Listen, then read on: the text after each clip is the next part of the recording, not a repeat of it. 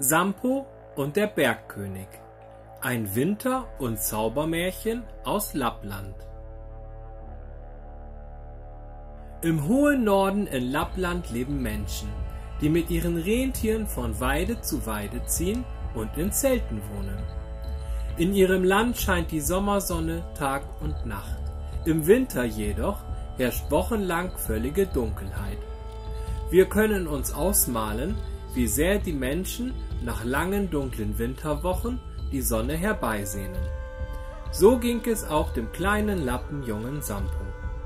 Es war Winter, Weihnachten schon lang vorbei und immer noch finster. Nur der Mond schien, die Nordlichter leuchteten und die Sterne funkelten Tag und Nacht. Eines Tages aber entdeckte Sampo einen schmalen roten Streifen am Horizont.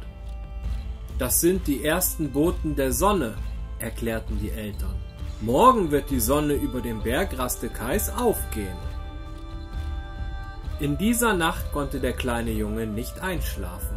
Vor seinen Augen sah er den Berggipfel im rötlichen Schein. Und da fiel ihm ein, was die Mutter erzählt hatte. Dort auf dem Raste Kais wohnte der mächtige Bergkönig. Hüte dich vor dem Bergkönig, hatte die Mutter gewarnt. Er ist so riesengroß und schrecklich, ein Rentier verschlingt er auf einem Biss und kleine Jungen frisst er wie Fliegen. Wie schaurig, wie aufregend. Ach, wie gern würde Sampo einmal den Bergkönig sehen, wenigstens von weitem. Bei diesem Gedanken schlüpfte der Junge leise aus seinem Rentierfell, nahm Felljacke und Hose, Pelzstiefel und Handschuhe und schlich sich aus dem Zelt. Bitterkalt war es draußen. Der Schnee knirschte unter seinen Füßen. Sampo hörte sein kleines Rentier scharren, und sogleich wusste er, was zu tun war.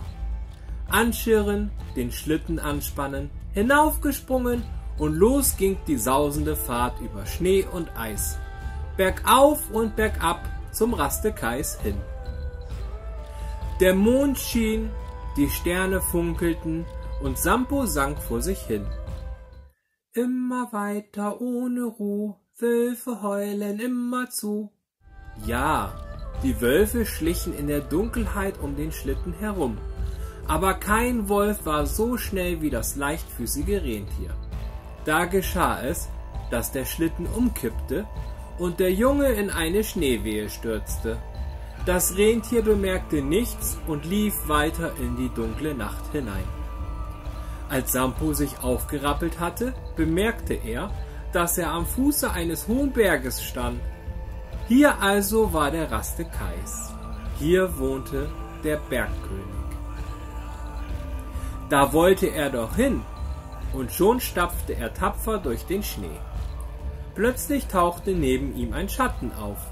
Es war ein großer, struppiger Wolf. Nur keine Angst zeigen, dachte Sampo. Da begann der Wolf auch schon zu sprechen. Wer bist du, winziger Knirps? Und was tust du mitten im Schnee? Ich bin Sampo. Ich bin auf dem Weg zum Bergkönig. Und wer bist du? Ich bin der Leitwolf des Bergkönigs. Ich habe sein Volk zum großen Sonnenfest zusammengerufen und bin auf dem Heimweg. Wenn du willst, setz dich auf meinen Rücken, ich trage dich. Sampo stieg auf, und fort ging es in wildem Lauf. Der Wolf erzählte, dass heute kein Wesen einem anderen etwas zuleide tun durfte. Gilt das auch für dich und den Bergkönig? erkundigte sich Sampo. Gewiss, sagte der Wolf. Eine Stunde vor Sonnenaufgang und eine Stunde nach Sonnenaufgang bist du sicher. Aber dann ist es um dich geschehen. Sampo, Lappenkind. So kamen die beiden auf den hohen Berg.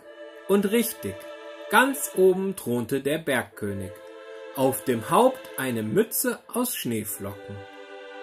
Augen wie der Vollmond hatte er, die Nase wie ein Bergrad, den Mund wie eine tiefe Schlucht.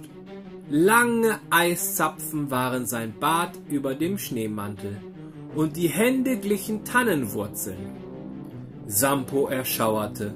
Er glitt vom Rücken des Wolfes und versteckte sich hinter einem Felsblock. Rings um den Bergkönig saßen Tausende von Trollen und Zwergen.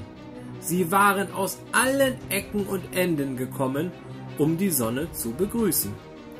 Und es waren alle Tiere versammelt, die es in Lappland gab, vom großen Eisbär bis zur kleinen Rentierfliege.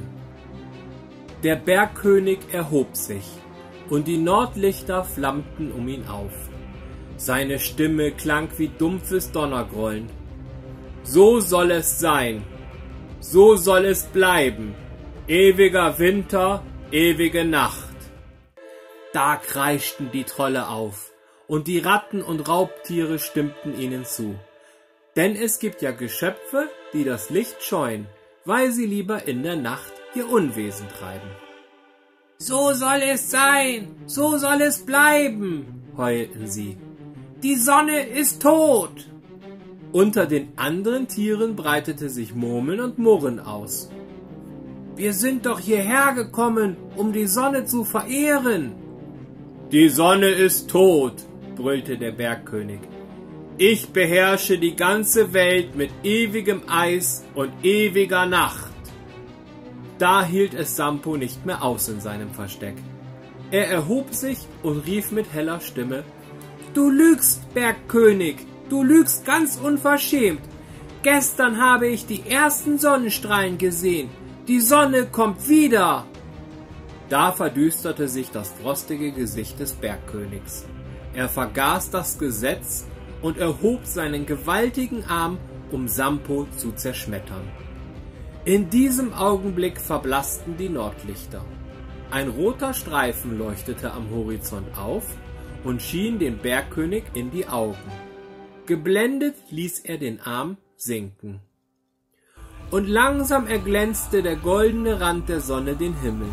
Er leuchtete die Schneewüsten und Eisberge, die Trolle und Tiere und den tapferen kleinen Sampo.